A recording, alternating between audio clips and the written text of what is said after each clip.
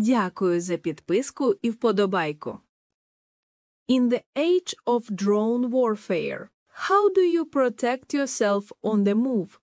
Ukraine has an answer. The Kventus system. Developed by the company Kvertus, this isn't some giant stationary radar dish.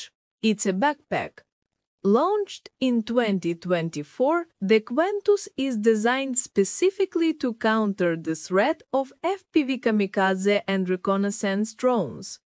Weighing just 5 to 7 kilograms, a soldier can carry it right into the field. It works by creating a protective dome of electronic interference, jamming the frequencies drones use for control and video feeds.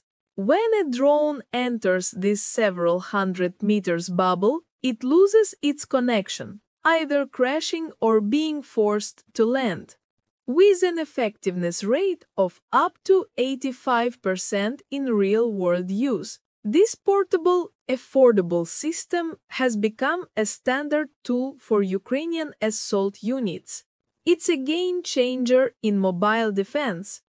Thanks for watching.